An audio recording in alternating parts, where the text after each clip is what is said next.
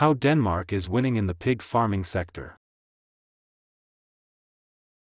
For more than 100 years, the production of pigs and pig meat has been a major source of income for Denmark. Approximate 90% of the production is exported and is thereby essential to the Danish economy and the balance of trade. In fact, this Scandinavian country has more pigs than humans. The Danish pig industry is among the world leaders in areas such as breeding, quality, food safety, animal welfare, and traceability. This is the reason why Denmark is among the world's largest pig meat exporters. Danish pig meat producers observe high standards of animal welfare, and pig farmers constantly strive to improve the welfare of live pigs. Danish pig production is characterized by high food safety standards and good animal health. Environmentally sustainable production methods are key to Danish pig production. Around 5,000 pig farms in Denmark produce approximate 28 million pigs annually. Most pigs are slaughtered at the cooperative abattoirs Danish Crown and Tican. In addition, a substantial number of live piglets are exported, mainly to Germany. Exports of pig meat account for almost half of all agricultural exports and for more than 5% of Denmark's total exports. More than 70% of Danish pig meat production is exported to other EU countries, and the remaining part is exported to countries outside the EU. Danish pig meat is exported to more than 140 countries, and the largest markets in terms of volume are Germany, UK, Poland, China, Japan, Italy, Russia, and Sweden. Every day 35,000 live pigs roll over Denmark's border into Germany on heavily loaded trucks, heading for countries across Europe.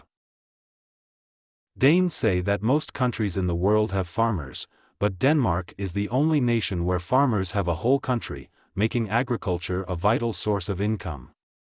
Denmark produces three times the amount of food it needs for itself, with exports of pig meat accounting for almost half of all agricultural exports and more than 5% of Denmark's total exports. This is industrial agriculture at the cutting edge of what is technologically possible.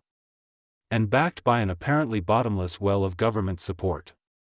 Beyond the funding received by the country's Royal Veterinary and Agricultural University and funding from the EU, £1 billion, £852 million a year, there is also direct government support for farmers. Since 2014, for example, the government has given more than 3,700 farms up to £1 million each, for modernization the government has previously backed plans to double the country's yearly production from approximately 28 million to 56 million.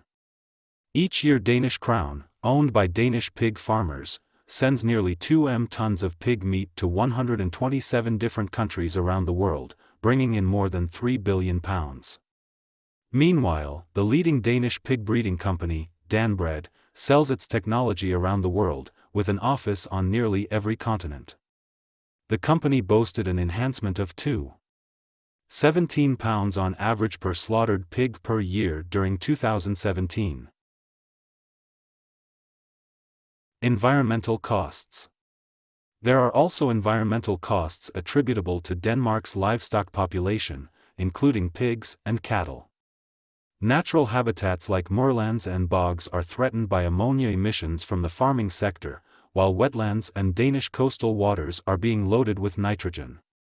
Danish farmers are responsible for more than 20% of total national carbon dioxide emissions, although agricultural emissions have dropped by 16% since 1990.